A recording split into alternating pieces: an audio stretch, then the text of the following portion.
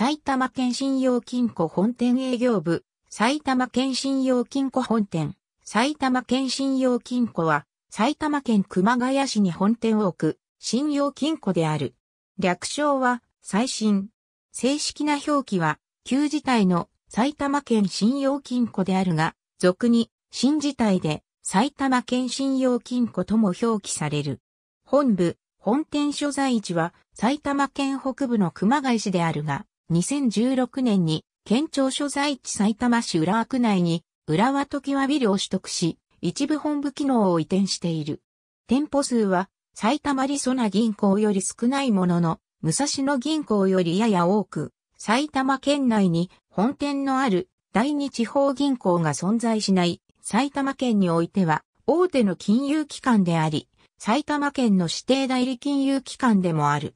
また、経営破綻した旧小川信用金庫の営業を2001年に譲り受けて以来、埼玉県西部地域にも営業エリアを広げ、引き郡小川町及び道郡嵐山町の指定金融機関でもある。1994年頃から浦和レッドダイヤモンズデザインの通帳とキャッシュカードを発行している。ATM は新金 ATM ゼロネットサービスには加盟しているが、埼玉県内の他新金と異なり入金ネットには未加盟である。また、当庫はセブン銀行 ATM やビューアルテ ATM と提携しており、キャッシュカードによる出金が利用できる。宣伝活動は埼玉新聞紙面広告とテレビ埼玉でのテレビ、CM のみであり、埼玉リソナ銀行や武蔵野銀行がそれらに加えて、行っている NAC5 でのラジオ CM は実施していない。また、並行してテレビ埼玉で2009年頃から放送されている全国信用金庫協会の石川亮が出演するテレビ CM に限り、連名で当庫のロゴがキャプションされている。以下、本部2施設と本店はいずれも独立して立地しているが、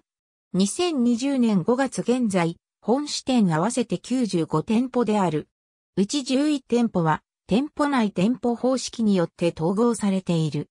詳細は店舗、店舗外、ATM 情報を参照越谷平方支店、大袋支店内に1店原始支店、上尾支店内に1店高坂支店、東松山支店内に1店鴻巣西口支店、鴻巣支店内に1店宮代支店、杉戸支店内に1店花咲支店、加須支店内に1店籠原南支店、籠原支店内に移転川越南支店、川越支店内に移転桶川西口支店、桶川支店内に移転北本西口支店、北本支店内に移転上野支店、本店営業部内に移転長瀬支店、諸山支店内に移転、最新のご紹介プロフィール2020年5月31日、閲覧 AB プロフィール、最新のご紹介、最新について埼玉県信用金庫5月7日、本店営業部、熊谷ローンセンターを、新装開店。彩りプラザ熊谷を新設します。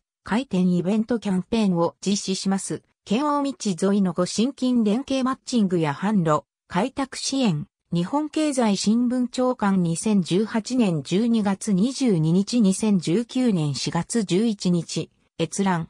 店舗移転、統合のお知らせ。ありがとうございます。